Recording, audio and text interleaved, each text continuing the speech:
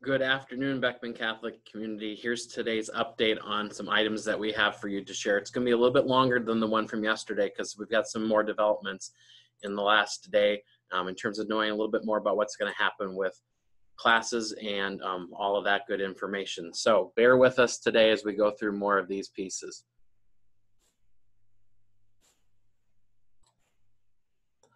All right, so I'm sending this out just around 4:15 p.m. So information's current as of this time. Um, so a little bit on what's happening in Iowa once again, as we've done that the last couple of days. Uh, earlier today, the governor declared a state of emergency, a public health emergency, essentially in the state of Iowa. Um, in the proclamation, there's a number of items included. You've probably heard about it if you've been paying attention to the news today. Um, one of those is the closure of bars and restaurants, um, allowing those in, institutions or those entities to make takeout and delivery services still available. Um, the governor's also put a recommendation or a, a, mandate out that there's a limit of no more than 10 people for social gatherings, um, and that's going to be effective through the end of the month. If you're interested in knowing more details about all the things that are in that uh, declaration, you can go to the governor's website, uh, and that is included there. It's also on the Department of Public Health's website as well. Um, so a little bit more about what we, last night I said things were being uh, in development when I gave my update. Um, we know what those things are now, so I wanted to share a little bit about that today with you. Um, here's what we know from that guidance and the bills that were passed. First off, the current four-week closure that started yesterday and runs basically through Easter will not need to be made up at the end of the year.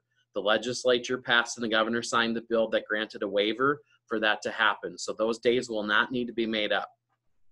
Uh, the bill also allowed the governor to waive additional days if uh, this long, this uh, initial four-week period of schools being closed has to be extended. So that way the legislature doesn't have to come back um, and address that issue again. We also received more guidance from the Department of Education in terms of what can be done in the interim.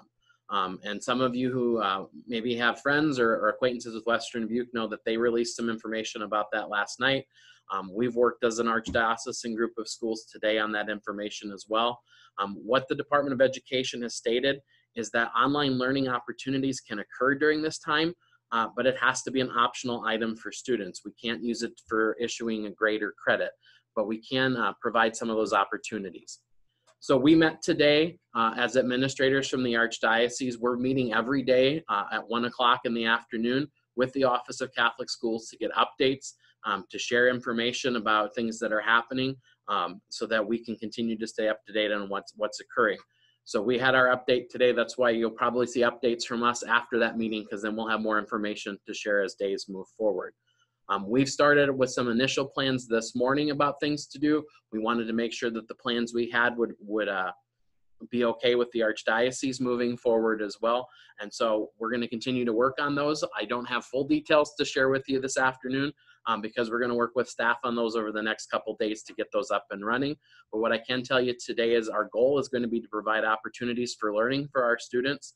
Um, that will include the opportunities as well for some interaction to occur not face to face, obviously, with the situation that's going on right now, um, but we will have some opportunities for students to interact. So staff is going to be meeting tomorrow to review and discuss these items um, that we'll be providing. So be on the lookout for more information over the next couple of days. We hope to have stuff out to you um, by late this week, Thursday, Friday. Um, but as you've seen, things have rapidly changed day to day. Um, so that's our goal, and we hope to be able to meet it. But uh, if something were to happen, we may have to push that back a little bit.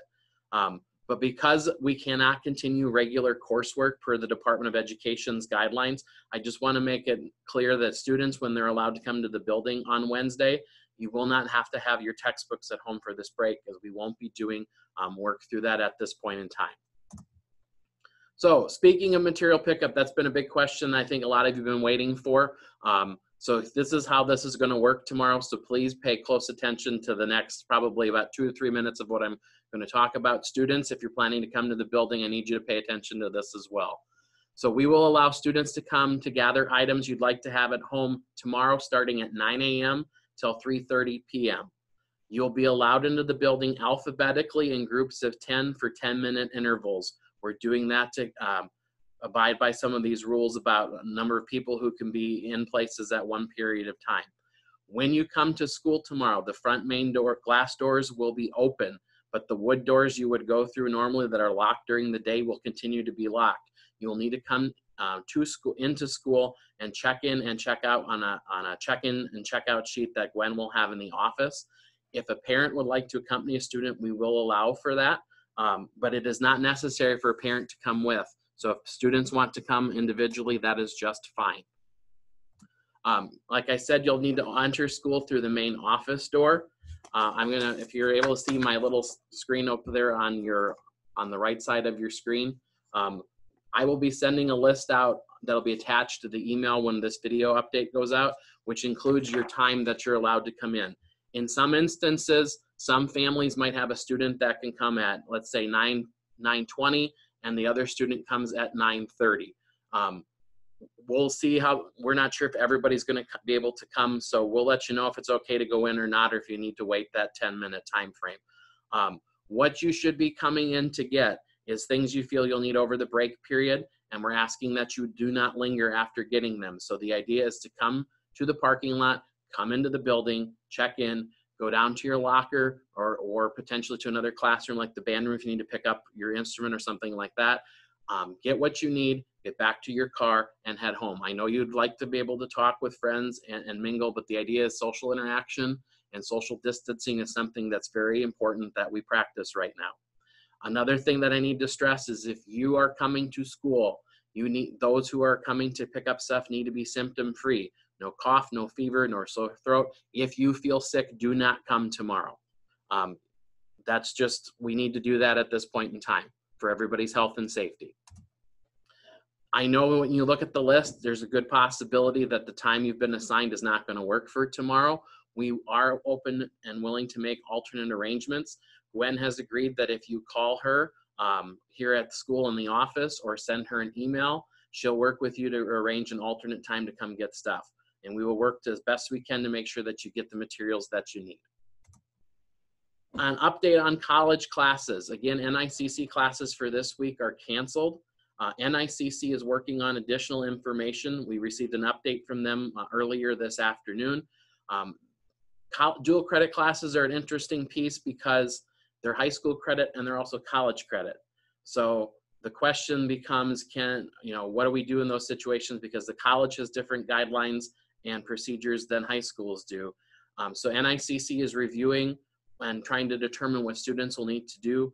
Included in the email to, today with the link to the video will also be an attached uh, letter from NICC just outlining kind of where the current state of things are, along with some recommendations for students in college classes on what they should be doing um, until NICC continues to work through this information. Students that are in St. Louis University classes, uh, earlier today, some of the principals at the high school level, the Archdiocese met through video conferencing. Xavier High School in Cedar Rapids also has St. Louis U classes.